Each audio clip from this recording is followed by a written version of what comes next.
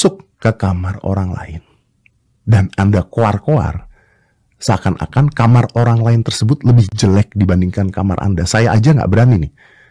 Karena ini very sensitive.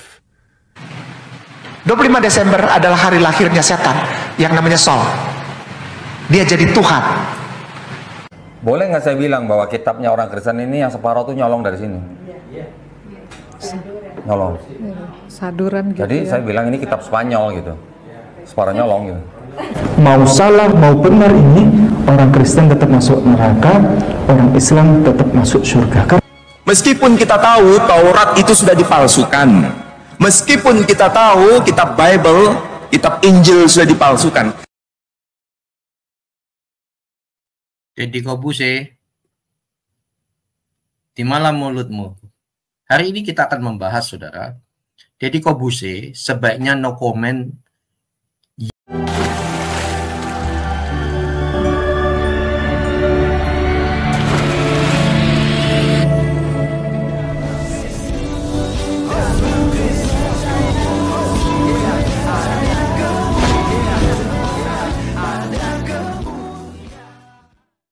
Salam Elechem Bishem Yeshua Hamasiah. Salam damai sejahtera dalam nama Tuhan Yesus Kristus untuk kita semua. Pada video kali ini teman-teman sekalian, seperti judul yang saya kasih bahwa kali ini Deddy Kobusar itu ditelanjangi habis-habisan teman-teman sekalian. Dipermalukan, dikucilkan ya. Kenapa? Karena dia melihat selumbar di mata saudaranya yaitu Elia teman-teman sekalian ya. Saudara kita Elia. Tetapi balok yang ada di matanya itu dia tidak lihat. Ya, makanya Alkitab katakan bahwa hai orang munafik, keluarkan dahulu balok yang ada di matamu, baru Anda bisa mengeluarkan selumbar yang ada di mata saudaramu. Teman-teman sekalian, Pak Heri ya, uh, Christian atau Ikim iya, di channel Ikim ya, itu benar-benar uh, menelajangi Deddy Kobusar di uh, live-nya ya dan beberapa uh, Kristuber ya atau apologet Kristen di situ untuk menyadarkan Deddy Kobusar terhadap pernyataannya. Ternyata teman-teman sekalian, dia tutup mata dengan saudara-saudara seimannya di agamanya yang saat ini. Si Dedi kan si mu'alaf teman-teman sekalian. Ya dia berani urusin, dia kan bukan urusan agama.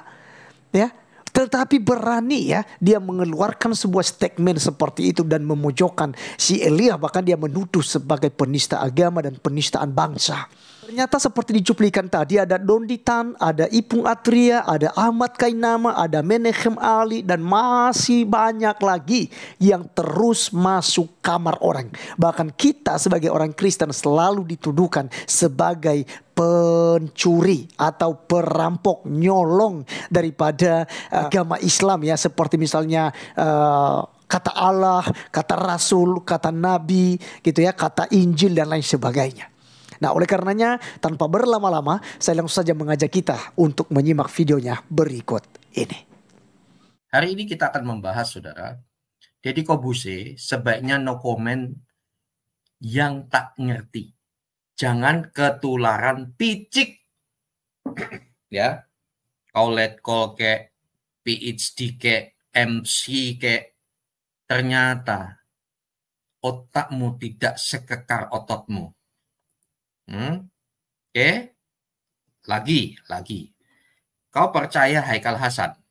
Semua orang juga tahu bahwa pertama kali Yesus diangkat jadi Tuhan tahun 325. Kamu bersama Haikal Hasan di podcastmu yang jutaan orang nonton.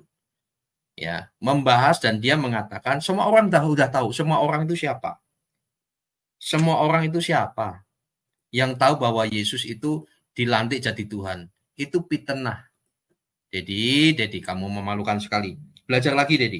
Ya, jangan sampai mempermalukan uh, kedoktoranmu. Saya akan ulang-ulang itu karena kamu uh, mewakili ya.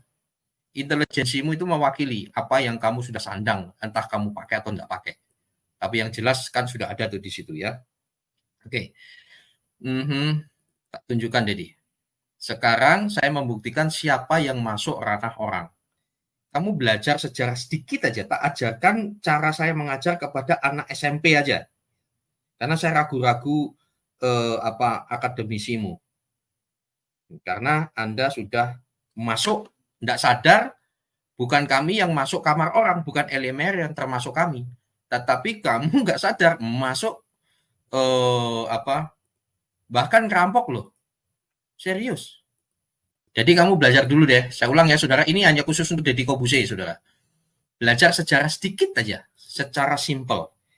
Anda kan Katolik nih. Orang Katolik itu cerdas-cerdas harusnya. Cerdas. Serius, saudara. Pintar-pintar. Romo-romo Katolik itu pintar-pintar. Saya perlu belajar sejarah sama mereka. Saudara, jadi ini Kristen itu lahir abad 1 Masehi. Lalu agamamu, ya, nabimu tuh lahir di abad ke-6 antara 6 sampai 7 ya. Dan logo agamamu itu logo pagan yang sama dengan pagan. Saya tidak mengatakan agamamu pagan ya, tetapi logonya itu sama, sama nggak ini? Nih, ya, bulan dan bintang. Kalau kamu tanya ke, jadi ini logo ini sudah ada sebelum Masehi. Pagan. Logonya sama. Ingat, jangan dipotong. Saya tidak mengatakan Islam pagan, tetapi logonya mirip sebelum Masehi ini logo pagan, Zoroaster, ya, agama Mani dan lain sebagainya. Nah, ujuk-ujuk kupluk-kupluk agamamu itu muncul kurang lebih abad ke-6 sampai ke-7. Lalu mengatakan menyempurnakan di sini. Oke, mengaku-ngaku menyempurnakan jadi kamu nggak ngerti nggak ngerti sama sekali nggak ngerti ya lalu kalian semua termasuk Profesor Mumenahame Ali mengatakan kami mencuri istilah-istilah termasuk Doditan. Tahu nggak Dedi? Abad pertama, lalu abad antara kedua dan seterusnya itu ini daerah Arab, oke, okay, Arab. Itu Kristen itu udah masuk di sini bersamaan dengan bidat-bidat juga, oke. Dan di abad-abad ini Kristen itu udah fik, Alkitabnya udah fik. Nah, Haikal Hasan itu orang geblek sedunia, geblek sedunia, sangat geblek dan sama Irini Handono dan seterusnya, semua orang Islam sepakat mengatakan Yesus dilantik jadi Tuhan di Konsili Nesia 325, dilantik jadi Tuhan. Ini adalah fitnah. Sekarang tanya sama Has, uh, Hasan, uh, Haikal Hasan, mana notulennya? Isinya apa? Belajar lagi deh. Lawang itu sebuah kesepakatan untuk menolak bidat maka dari demi nama Bapa, Putra dan Roh Kudus pengakuan iman rasuli itu bukan melantik Yesus jadi Tuhan, tapi semacam semacam uh, apa ya komitmen bahwa kalau yang Allah Tritunggal yang benar itu maka begini cirinya yang di luar itu bukan nah maka dari itu Dr. Haidar Bakir AM mengatakan Dedi kamu tuh ngerti. Dia mengatakan Trinitas itu tidak mus, tidak syirik dan lain sebagainya. Karena yang dikatakan di Al-Quranmu itu adalah kecaman terhadap bidat-bidat yang di sini, yang di sini. Oke, selanjutnya. Di abad-abad ini ketika sebelum Islam lahir, orang Kristen Arab itu sudah menggunakan kata Allah, oke, nabi, Injil, itu udah biasa ya, rasul, apalagi ya, uh, roh, roh kudus, tapi bisa jadi rohul kudus dan lain-lain. Oke, perhatikan Dedi, Pak PhD, Dedi Kobuse PhD, perhatikan. Ini di mana sebelum Islam lahir.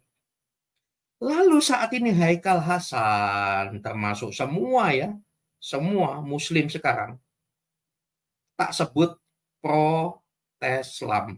Itu mengatakan, Hu, kembalikan nama Allah kami, kamu mencuri, mencuri, mencuri, mencuri sebagai seorang akademisi otaknya gimana? Kamu ngomong apa kepada mereka-mereka yang mengatakan kami mencuri kata-kata ini? Suruh kembalikan. Kenapa jadi Allah SWT Tuhanmu, Dedi? Kenapa? Kata Allah ini sama dengan Tuhan. Saya pakai bahasa sederhana ya. Saya mengajar untuk anak SMP, tapi khusus untuk Dedi. Karena Anda soal agama, kamu mesti belajar lagi. Ya, Tuhan. Itu sama pada itu generic name namanya. Nah, ketika Muhammad lahir, adil, menciptakan uh, Islam, maka kata Allah untuk membedakan di plus SWT, SWT. Itu jadi. Makanya apa yang kami kembalikan? Kami adalah menyebut nama Tuhan secara umum, bukan Allah SWT ini, bukan. Nah, sekarang saya kasih tahu, kekristenan itu bergerak konsisten dari awal, konsisten, pengajarannya konsisten. Konsisten. Matius 22 ayat 37 sampai 34. Lalu di sini mau dipotong, teng, palsu, Isa jadi Yesus, Abraham jadi Ibrahim, semuanya dirubah-rubah. Salomo menjadi Soleman dan seterusnya. Oke? Sampai sekarang, sampai 2023 ini. Bahkan almarhum Agustan, maaf dengan tidak mengurangi rasa hormat, dia udah almarhum. Bayangkan Dedi, dia mengatakan, ingat ya, kami abad keberapa? Ya, abad pertama. Lalu perjalanan kami konsisten kan? Eh di sini dia mengatakan oten-oten ini ya tisu toilet mengganggu kami sejak 2000 tahun yang lalu. Nah, gimana? Kamu ngomong apa? Padahal kalian lahir abad ini 1400 tahun yang lalu kurang lebih. Hmm. Nah, sekarang Anda dengan uh, lengan kekarmu, gaya preman, Elia Meron, gatel saya, masuk kamar orang dan lain sebagainya. Memalukan sekali. Hmm? Kita dengar lagi. Dan semua orang juga tahu bahwa pertama kali Yesus diangkat jadi Tuhan tahun 300 Semua orang itu siapa? Hanya orang Islam. Hanya Muslim. Ya, Saudara. Dan sekarang ini baru pro, uh, uh, seorang akademisi murni. 25. Tidak ada yang mengangkat nah. Yesus itu Tuhan, tidak ada. Baca itu tulisannya Polikarpus, itu muridnya Rasul Yohanes langsung. Ketika dia mati dalam pembakaran, dia memuja Allah Tritunggal. Kepadamu Bapa Surgawi, dengan imam besar surgawi, yaitu putramu terkasih, Yesus Tuhan kami, dan roh kudus, kemuliaan bagimu sekarang dan selama-lamanya. Dia mati dalam apa kesahitannya. Dan itu terjadi tahun 156 Masehi. Dan sebelum itu di Alkitab memang sudah ada. Anda masuk ke kamar orang lain. Dan Anda koar-koar seakan-akan kamar orang lain tersebut lebih jelek dibandingkan kamar Anda. Saya aja nggak berani nih ngomongin apa yang Anda omongin. Ngulangnya aja saya nggak berani. Karena ini Ya. Gitu. Ya, kamu tidak berani bukan karena kamu menghargai. Karena kamu nggak ngerti, lebih baik jangan. Nah, kali ini juga Dedi, kamu lebih baik diem dah. Jangan, kamu kamu akan malu loh. Kamu diajar oleh orang yang salah. Ketika kamu Katolik, kamu tuh Katolik dangkal. Betul nggak? Katolik dangkal. Hari ini saya bahas ya, Dedi Kobusi sebaiknya no comment yang tak ngerti. Jangan ketularan picik. Kamu picik. Orang picik itu orang yang uh, apa uh, ya tidak tajam lah. Nah sekarang saudara ya perhatikan ini. Ini saya gatal kalau ini. Ya. Anda masuk ke kamar orang lain dan Anda koar-koar seakan-akan kamar orang lain tersebut lebih jelek dibandingkan kamar Anda. Saya aja nggak berani nih. Karena ini very sensitive. 25 Desember adalah hari lahirnya setan yang namanya Sol. Dia jadi Tuhan. Boleh nggak saya bilang bahwa kitabnya orang Kristen ini yang separuh tuh nyolong dari sini? Nyolong. Saduran gitu Jadi ya. saya bilang ini kitab Spanyol gitu. Separuh nyolong gitu. Mau salah mau benar ini orang Kristen tetap masuk neraka, orang Islam tetap masuk surga. Meskipun kita tahu Taurat itu sudah dipalsukan, Meskipun kita tahu kitab Bible, kitab Injil sudah dipalsukan. Jadi, perhatikan nih ya. Termasuk ini profesormu ya. Kitab suci saudaraku tersayang Kristen dan Katolik di dalam kitab 1 Petrus. Jika engkau ingin merdeka, maka engkau menjadi hamba Allah. Tapi yang masalah itu di Indonesia yang kurang ajar itu saya harus ngomong terus terang yang kurang ajar itu orang-orang Kristen.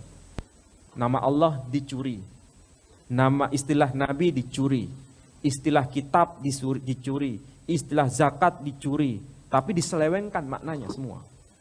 Yang paling sentral istilah Allah dicuri tapi maknanya diubah diubah Itu sama Ustadz Menachem Ali ku sayang. Nah, pacarnya nih diduga. Ya, kalau begitu-begitu sama Ustadz Menachem Ali. Cintaku. Barakallah. Menjijikkan sekali. Oke, teman-teman sekalian, itulah yang kita sudah dengarkan bersama ya. Saya percaya bahwa kalian semua diberkati ya. Sekalian kita belajar juga dengan apa yang sudah dijelaskan oleh Pak Heri Christian. Dan teman-teman sekalian, ini sesuatu hal yang benar, itu sejarah yang benar. Jadi Islam itu muncul di abad ke-6 atau abad ke-7 teman-teman sekalian ya, sekitaran situlah ya. Tetapi mereka menuduh kita bahwa kita mencuri, kita merampok ya, seperti disampaikan oleh Profesor Menachem Ali, Ali tadi teman-teman sekalian ya. Jadi Deddy Kobuser, Anda harus uh, memahami di sini ya siapa yang masuk kamar orang dan beberapa tadi ustadz-ustadz ada ustadz uh, Ahmad Kainama, ustadz Donditan, ustadz uh, Ipung Atria, kemudian ada Profesor Menechem Ali dan beberapa uh, ya ustadz-ustadz yang lain yang saya sudah sebutkan di sini ya. Ya kalau saya mau sebutnya sebenarnya seperti ya Abdul Somad, Irene Handono, Bangun Samudra, ya Aristo, uh, Ustadz Nander gitu ya. Dan masih banyak lagi ya, termasuk Ustadz Yehwaloni yang pernah Anda undang juga dan Babe Haikal yang dibahas juga tadi. Jadi sebenarnya kalian sudah menistakan agama kekristenan. Kalian masuk ke agama ke kamar orang lain seperti yang Anda ungkap ya.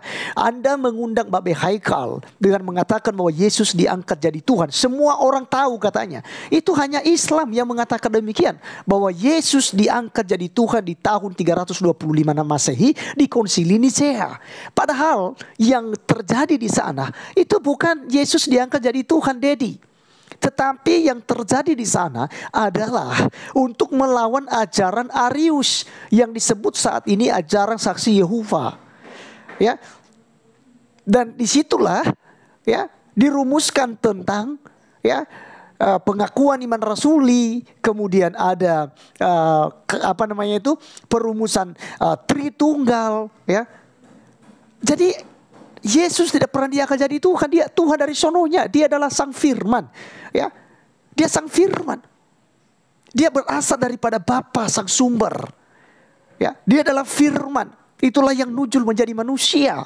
Bukan berarti ya Ketika si firman ini yaitu Yesus Kristus disebut sebagai anak Allah lalu dikatakan seperti dituduhkan oleh Habib Rizik ya anak Allah gitu siapa bidannya Ya, karena otak kalian itu tidak bisa mena, apa nalarnya ya, nalarnya itu tidak bisa sampai gitu kepada iman kekristenan yang tritunggal itu. Ya, tiga pribadi dalam satu hakikat kealahan. Nah, jadi saya pikir apa yang disampaikan oleh Pak Heri tadi memang dediko besar. Sekalipun ada orang yang berpendidikan tinggi bahkan ada seorang artis bahkan juga seorang pesulap yang terkenal ya. Tetapi ya pemahaman Anda soal agama itu masih 0, ya jadi pas yang disampaikan oleh Pak Heri tadi bahwa seharusnya Anda diam. Ya, nggak usah komen. Gitu, karena Anda tidak tahu. Nah, kalau Anda komen ini silakan. Ya, Anda netral, Anda harus juga ya mengeluarkan sebuah statement ya kepada ustadz-ustadz yang sudah ditampilkan tadi.